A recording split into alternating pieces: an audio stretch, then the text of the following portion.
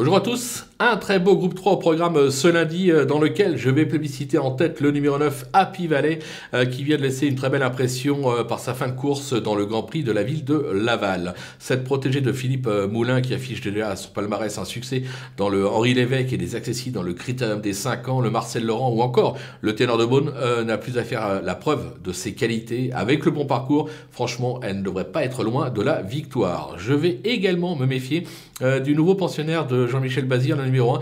Euh, Cicero TG, euh, qui avait fait sensation lors de ses débuts euh, victorieux à Vincennes.